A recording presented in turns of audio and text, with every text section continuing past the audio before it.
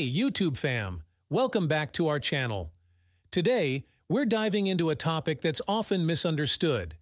The legality and ethics of using your neighbor's Wi-Fi without permission and sharing your Wi-Fi with your neighbor without asking your network provider first. Imagine your Wi-Fi as a digital fortress, safeguarding your online world.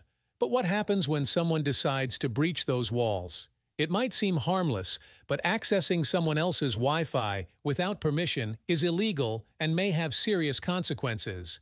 It's like sneaking into a friend's house without an invitation. Just not cool.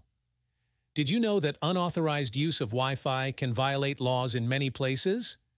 From unauthorized access to potential data breaches, it's not just a simple sharing of internet, but a legal minefield.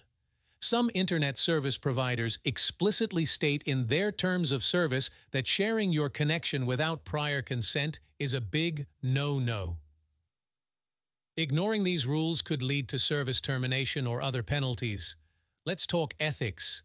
Respecting digital boundaries is crucial in this interconnected world. Just as you wouldn't borrow someone's car without asking, the same courtesy should apply to Wi-Fi. Beyond the legal and ethical aspects, there's also the issue of privacy. Every device connected to your Wi-Fi leaves a digital footprint. Unauthorized users could compromise your personal information, creating a potential cybersecurity nightmare. Instead of resorting to unauthorized access, explore legitimate options. Talk to your neighbors to check if their network provider allows sharing. You can then split the cost of internet, unless your neighbor says no, or consider public Wi-Fi alternatives there are always better legal ways to stay connected.